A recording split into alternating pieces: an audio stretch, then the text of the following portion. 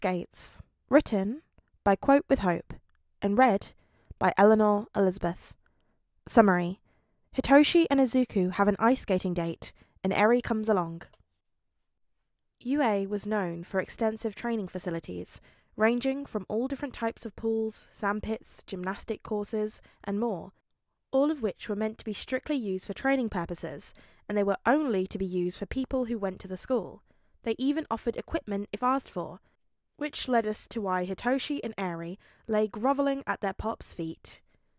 I already told you, if you want to have civilians on campus, you're going to have to talk to Nezu, Hizashi said. He could feel a shiver run down his back as he mentioned the name of his boss. And we told you he's too scary, Eri cried, as Aizawa made his way in with a cup of coffee. What makes you think he doesn't scare me? Yamada's quirk shining through just a little. We don't know the fact that he's your boss. Hitoshi lifted his head slightly as the cat began to bat his messy hair. Why don't you just send Arian? No one can say no to those puppy eyes. Hitoshi gasped in offense as he held Eri closer to him. You're willing to send your only daughter into the rat's den?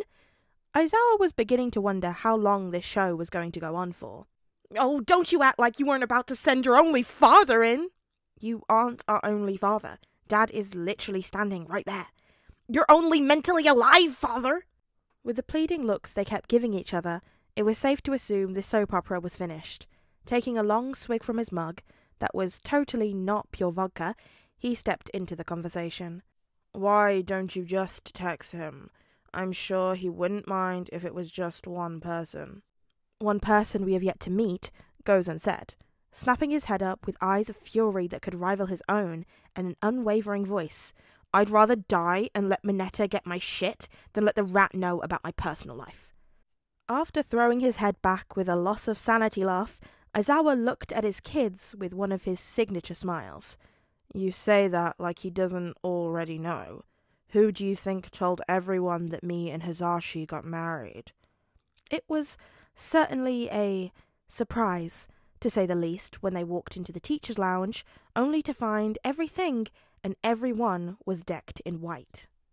Before Hitoshi could reply with some level of concern, his phone went off. Would you look at that? He already replied. Sauntering away in his hot pink sweatpants, he left the rest of his family to investigate the random text. Unknown number. Your father is right on both accounts, Hitoshi kun. All I ask is that you put things back where they belong. Tell Izuku I said hello, and I'm always open for a cup of tea, will you? Well, Hitoshi wasn't interested in poking that bear, or mouse, at the moment. Unlike the rest of his family, he only cared about letting Izuku know about the date. Although he was slightly concerned as to why his boyfriend was on close enough terms with his principal to be able to have tea with him. Izuku and Hitoshi had made a deal about the next date they had, Hitoshi has to bring at least one of his family members, and no, cats do not count. It was their plan to get Izuku used to his family without causing an all around panic. Like introducing an animal to a new environment. You have to do it slowly, or else shit goes haywire. Which is why Eri stood next to her brother outside the UA gates. Izuku said he needed to pick up something and that he would meet them there. So, what do you like about Mr. Izuku?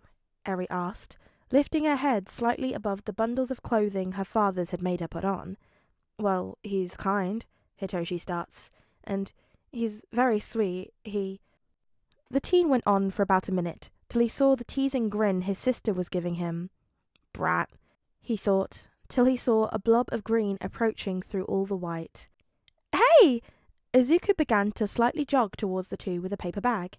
Hey, Izu, Hitoshi's face brightened at the sight of his strawberry, a smile coming on his face. Izuku, this is Eri. Eri, this is Izuku, or the vegetable man, as you keep calling him. He gestured her to move out from behind his leg, but she stood frozen. Crouching down, Izuku got down to Eri's level with the paper bag in front of him. Hello, Eri. It's great to finally meet you in person. His voice was as gentle as it was in the phone calls, maybe even nicer. It, it's nice to meet you too. Her voice was small but clear. I remember you liked candy apples. Stretching out his arm with the neat paper bag, the fresh smell of apples and sugar enticed her. Thank you, Mr. Izuku. Her eyes lit up at the realization that he'd brought her the most perfect thing in the world a sugary sweet candy apple. But before she could take the bag, a purple cat paw glove grabbed it before she could. How about we head inside before you get a sugar rush? Hitoshi said, the paper bag in his gloved hand, the other swiping his key card for the gate.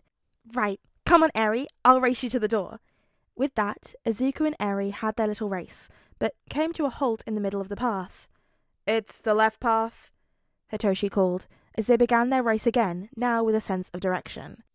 For someone with the personality of a rabbit, he's really good with her.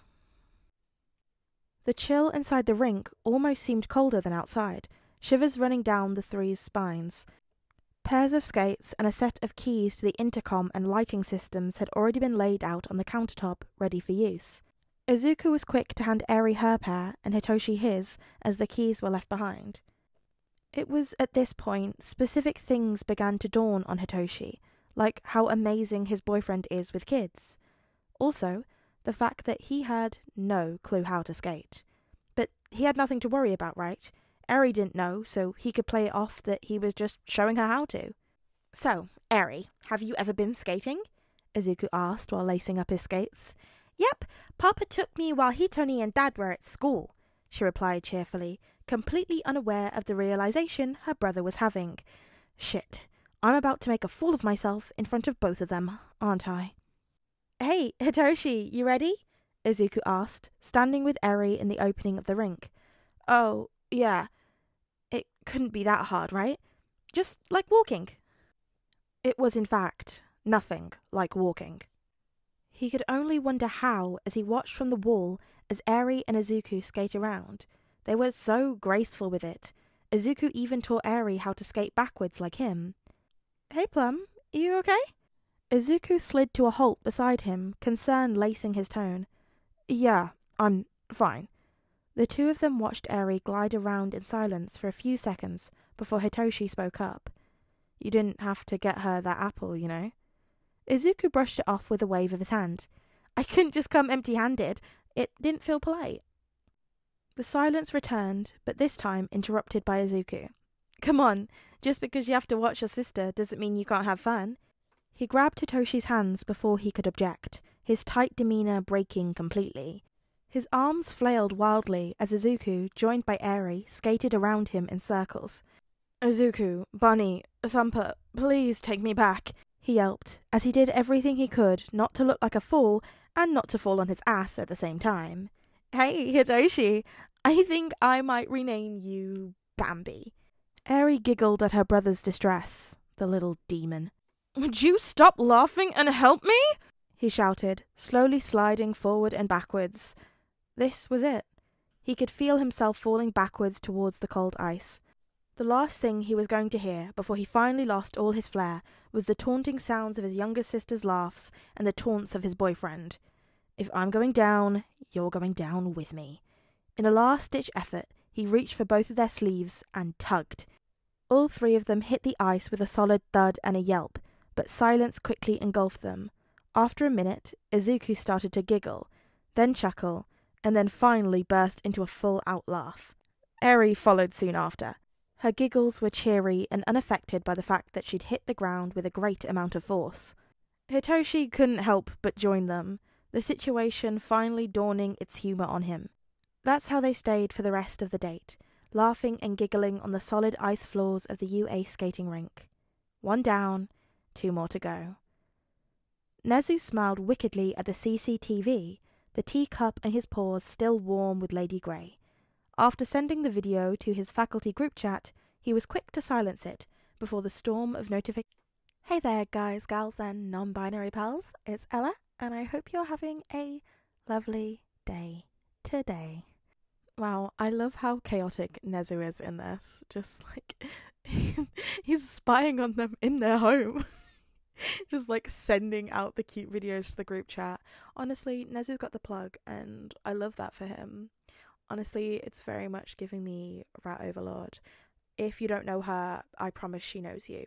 But this was part three of the window display series, and it's so cute. Oh, I love them so much. I ship Shindeku just like so hard. But do you? let me know in the comments below. You know, we can talk about the fic, we can talk about anything about Christmas, about life, you know. I just like to chat with you guys. You could also like the video, you know, if you liked it, and to boost my serotonin levels. And you can also subscribe to be notified whenever I make new videos, which, you know, at the moment is every day because it's Ficmas, where I'm making a video every day in the lead up to Christmas, which has been really fun. I I'm a little bit stressed about tomorrow's video. We'll see how that one goes. I'm actually well, if you're about yesterday or if you're in the Discord, you probably heard about my very swollen gums and how much toothache I've been having. Basically, I have to have emergency dental tomorrow, and I'm pretty sure they're going to take my tooth out. So we'll see how good I am at talking tomorrow. Uh, if it, okay, then I'll still post. Otherwise, I don't know what I'm going to do. Cry, probably. But you know, I'm committed to Ficmas, so I'll have to figure something out. Also, thanks to the lovely people over on Discord, I realised that my 100th video will be going up like this week. And I feel like that's kind of a big deal, like 100 videos. Honestly, I did not I don't think I even thought I would ever make 100 videos of anything. So, I'm very proud. I mean, I haven't done it yet, but we're going to get there.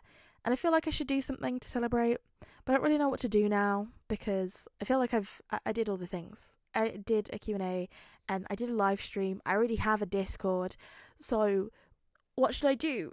Let me know down in the comments below. Or, you know, speaking of Discord, I have one of those. And you can always message me on there. Um, I am very active in it and I talk to you guys all the time. We have a really great time. The link to it will be in the description below.